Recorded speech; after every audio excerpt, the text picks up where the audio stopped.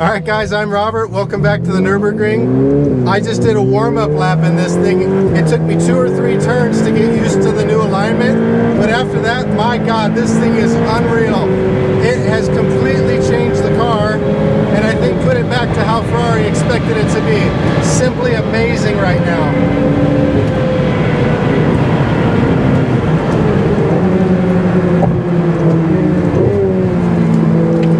Understeer is all but gone. It's almost to a taste of oversteer, which is just perfect. But the car is just freaking amazing right now.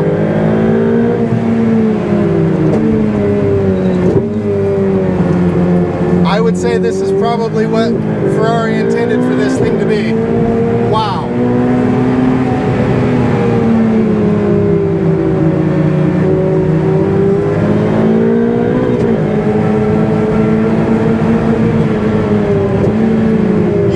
turn with the front end slightly loaded up and it just lay on the power out of it and it just hooks up and goes.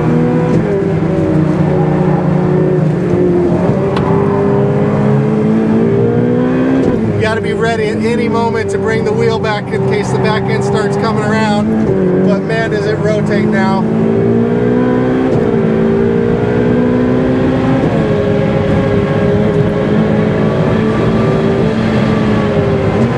the biggest problem with this car.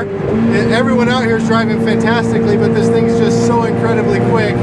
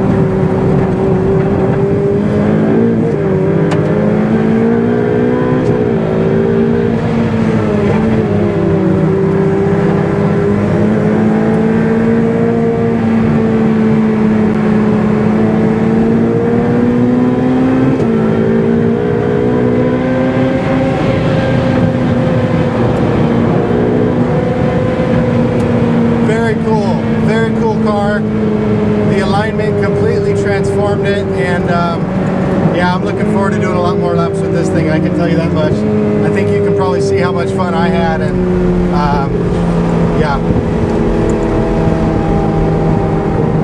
Had to put the windows down for a second to get some fresh air, and that is spot on right now. A ton of fun, and uh, I couldn't complain about anything with this thing right now. That felt really nice.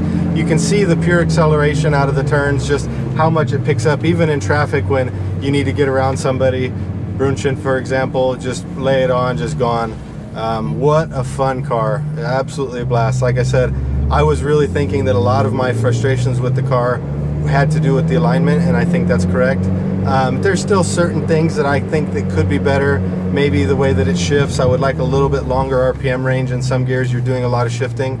Um, obviously, I could run at lower RPM and use the massive amounts of torque, but I like the linearness of the higher RPMs. But I mean, even right now, even right now, I'm on uh, um, 2.8, 2.9 bar of tire pressure. So I'm going to go right now, drop those down, and then do a fun lap with Misha, which you guys will see on his channel soon. Catch you guys later.